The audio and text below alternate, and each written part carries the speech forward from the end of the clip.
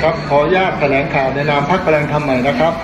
ประเด็นที่จะแถลงในวันนี้เกี่ยวกับประเด็นเรื่องการสร้างเทอร์มินอล2ที่สนามบินสุวรรณภูมินะครับจากการที่สมาคมวิชาชีพนะฮะด้านต่างๆ ที่เกี่ยวพันกับการสร้างสสนามบินสุวรรณภูมินะฮะสิบกว่าองค์กร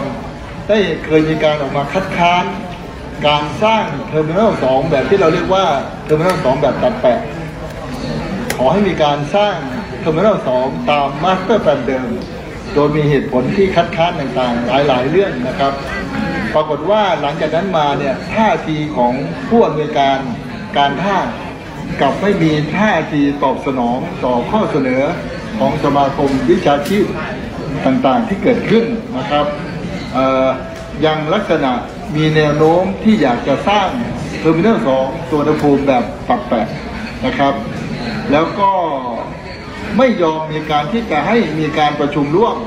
ระหว่างสมาคมวิชาชีพต่างๆ ที่คัดค้านการสร้างเทอร์มินอลสองแบบตัดแปะ ที่จะขอมีการประชุมร่วมกับการท่านะครับ ในการที่จะวิเคราะห์ถึงเหตุถึงผล เอาข้อดีข้อเสียในการสร้าง เทอร์มินอลสองทั้งสองรูปแบบมาเปรียบเทียบ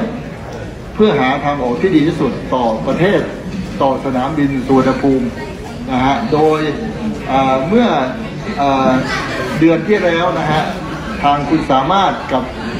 สภาวิศวะก็มีการจัดสัมมนาให้ให้ความรู้เอ่อพอการท่ากลับออกมาพูดในลักษณะที่ขู่ด้วยซ้ำไปว่า ถ้าพูดไม่ดีจะถูกดำเนินคดี สิ่งต่างๆ เหล่านี้ที่เกิดขึ้น ทางพรรคพลังธรรมใหม่ มีความเห็นว่า เรื่องนี้เป็นเรื่องการลงทุนมหาศาล เป็นเรื่องที่เกี่ยวกับผลประโยชน์ของประเทศ เกี่ยวกับชื่อเสียงของประเทศ เกี่ยวกับสนามบินสุวรรณภูมิ ซึ่งจะเป็นจุดที่สำคัญที่สุดในการทำรายได้เกี่ยวกับการท่องเที่ยวของประเทศไทย ถ้าสร้างไม่ดี โอกาสที่สนามบินสุวรรณภูมิจะติดอันดับโลก ให้อันดับดีขึ้น จากที่เคยอันดับที่ดี แล้วอันดับตกลงไปเยอะมาก ก็ยากที่จะเป็นไปได้ ความสะดวกของผู้โดยสารการลงทุนที่ศูนย์เปล่ามันจะเกิดขึ้นมากมายมหาศาลดังนั้นพรรคพลังธรรมใหม่จึงขอเรียกร้องรัฐมนตรีว่าการกระทรวงคมนาคม ให้ช่วยมาดูแลอยู่ในเรื่องนี้ ให้จัดให้มีการประชุมร่วมระหว่างการท่าเจ้าที่กระทรวง ที่เกี่ยวข้องและสมาคมวิชาชีพต่างๆ ที่คัดค้านองค์กรต่างๆ ที่คัดค้านได้มีโอกาสร่วมมาออกความคิดเห็นกันอย่างเต็มที่และต่อเนื่องจนกว่าจะได้ข้อสรุปที่เหมาะสมว่าควรจะสร้างเทอร์มินอลสองตามมาสเตอร์แพลนเดิม หรือจะสร้างเทอร์มินอลสองแบบตัดแปะ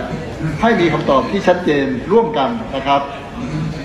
ผมมีความเห็นว่าถ้าท่านรัฐมนตรีไม่ดำเนินการในรูปแบบนี้ แล้วยืนยันที่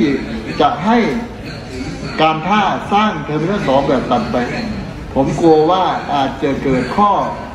ปัญหานินทาต่อท่านรัฐมนตรีได้ว่าในอนาคตนะครับนะฮะว่าท่านรัฐมนตรีเอื้อผลประโยชน์ต่อในทุนที่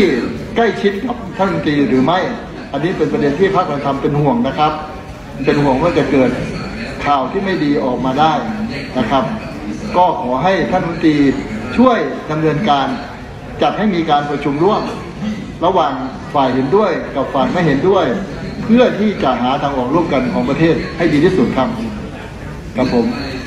ไม่ทราบผู้สื่อข่าวมีประเด็นไหนจะถามไหมครับ